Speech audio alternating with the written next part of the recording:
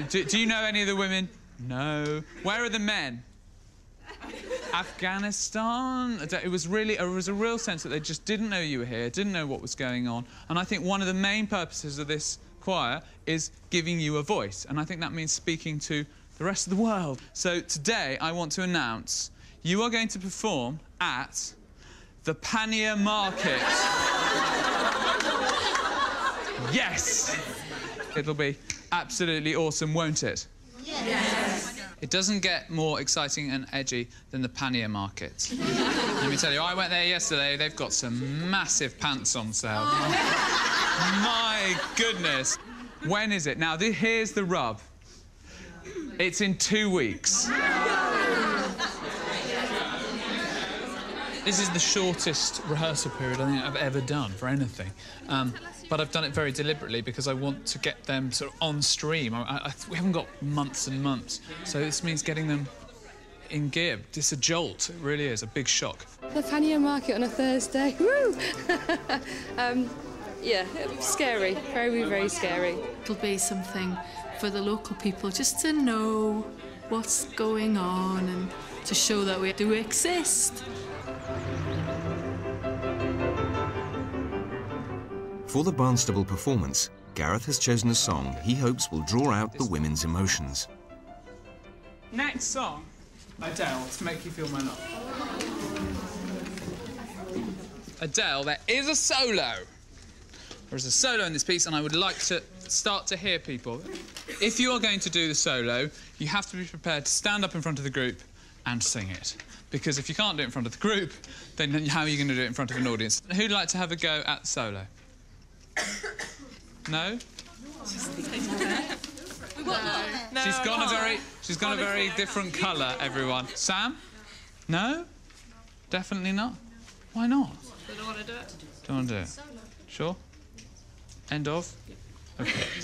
Right, okay. Uh, anyone else? Just give it a go. Kelly.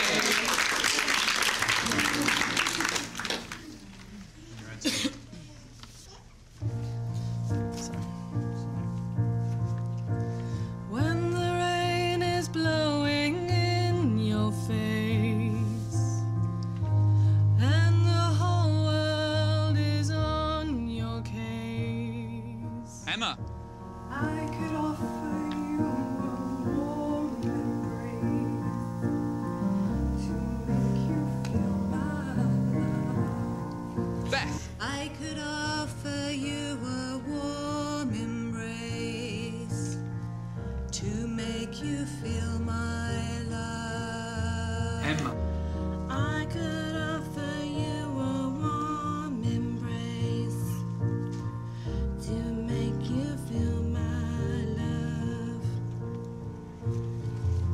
Nikki.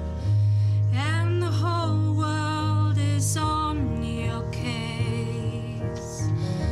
I could offer you a warm embrace to make you feel my love. Brilliant. When the That's it. Fantastic morning. Round of applause for everyone, I think. With the solo auditions drawing to a close, Sam has a last-minute change of heart. It takes quite a lot to stand out. Do you want to just sing it for me here now, with- once everyone's gone? Yeah? That's different when it's just like one person. Okay. I mean, I, yeah, go on. Come on, let's, let's do it. Can we just hear Sam?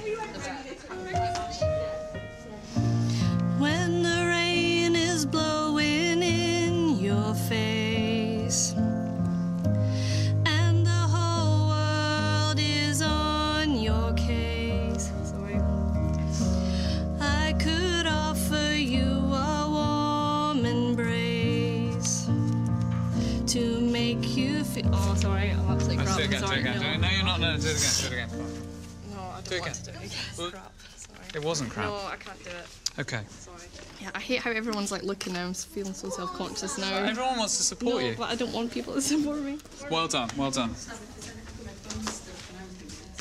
It's people like they're like they're they're just all there and they're looking at you and you think, well, what are they thinking? Are they thinking you're rubbish or can they hear what I hear, which is absolute rubbish? Just don't enjoy it. Nikki, tomorrow.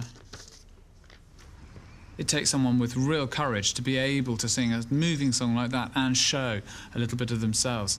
Sam failed to sing in front of everyone else. Um, she's super nervous, really, really underconfident, and underconfident in front of the rest of the group, which is a shame because she's actually got a really good voice. I want it to be someone who can sing with heart and guts because that's what the choir needs. Over the last few days leading up to the Barnstaple performance, choir members themselves organise last minute get togethers at each other's houses. And even Sarah is starting to enjoy singing. I never for one moment thought I would ever sing in a choir. Choirs are stuffy old ladies singing strange songs and wearing odd clothes with pulling these crazy faces while they're singing. The thing I like most is just the camaraderie between all the women. We feel like sisters now, just helping each other out. I think we're so keen to do it that we will really try our best. We are standing together as a group of girls going, actually, I'll be there for you and you'll be there for me, and we'll all get through this together.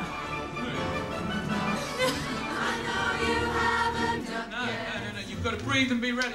I know you haven't. We've got to do it no matter what. So we can either go and make complete idiots of ourselves, or we can just go and belt it out and hope it sounds good. Come on, you got more than that. Good. That's getting there.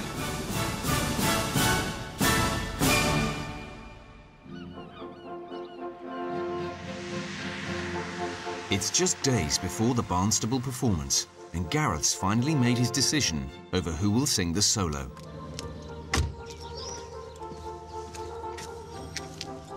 Good news. Uh, I'd like you to do the solo. Oh my goodness. Honestly. Yeah, honestly, yes. Wow. I don't know if I'm uh, ready for that this time in the morning. I've picked you because I think actually under pressure you'll be fine. Uh, whereas some of the others, I think it's a bit too soon. And I think I think they might have crumbled, but I don't feel like you're going to, are you? no, no. I promise you I won't. No. Just think it's brilliant, and I'm so happy that he's chosen me. I'll be singing it to George. He'll appreciate it.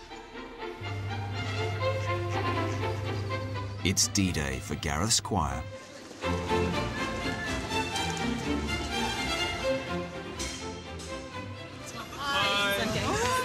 You all right? Yeah. Nervous? Yes. Your chariot awaits. I really hope for them that, that they feel like they, they've become a choir. It's very different when you're in front of a public audience. It's, uh, there's expectation, it's been advertised. It's a big moment. I'm beginning to understand what giving these women a voice actually means. It's about singing to the outside world, about getting outside this military environment and being heard. Follow me! Up till now, they've just supported their husbands stoically while they're away. And I want them to be proud of who they are, proud of their singing, and sing to all those people out there. Ladies, just sing your hearts out, use your faces, really, you know, wear your heart on your sleeve with this one, and I'll, we'll pick up the pieces later, okay? Thank you very much. Let's, let's do it.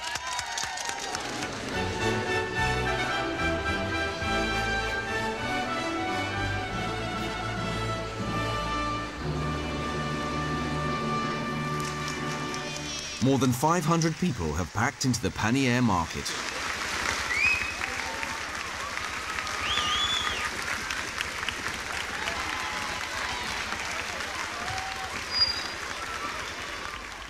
Hello, Barnstaple! Ladies and gentlemen, it gives me enormous pleasure to introduce to you the RMB Chivenor Military Wives Choir. I, I think it's worth you knowing that every single person who you're about to hear sing um, has a partner in the forces. Many of them at the, this very moment are in Afghanistan. They do have a very hard time and they're incredibly stoic. They're just going to get on with it um, in true British spirit, I think. Uh, but here's a, here's a song that I think really shows you how much feeling there is. Um, this is a beautiful song by Bob Dylan, Make You Feel My Love.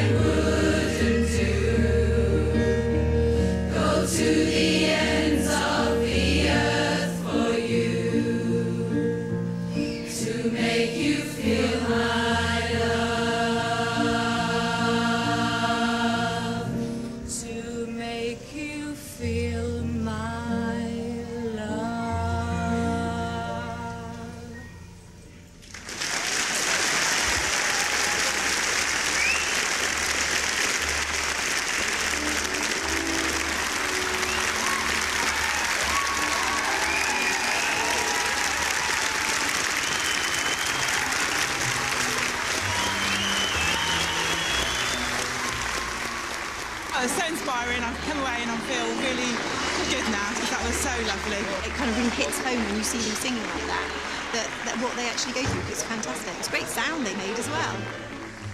For anybody to get out and sing when their husbands are in danger, I, I don't know how they do it. Brilliant, well done, really good. So proud of you. You really sort of blossomed on stage today. Very, very well done. Unbelievable. That feeling, um, just couldn't control the emotion, and we, it just you just had to let it go. Oh, that was amazing. Really good. I really felt part of the choir this time. Surprisingly upbeat, and uh, as you can see, a big smile on the face. When I was on stage, um, I definitely felt the confidence coming back, and I think it was just like the whole adrenaline rush, and I didn't notice the like 500 plus people, or try not to anyway. So uh, yeah, so I thought it went really good. They were proud to be in the choir, and I think that's the first step. You know, there's a real sense of purpose and mission about the whole thing. It's great, and you see it in their eyes. They sang with real fervour. It was great. Next time, A professional sound engineer is coming from British Forces Radio, and we are going to be played out to all of the troops in Afghanistan. It's completely appropriate for you to do that, and you're ready for it as well.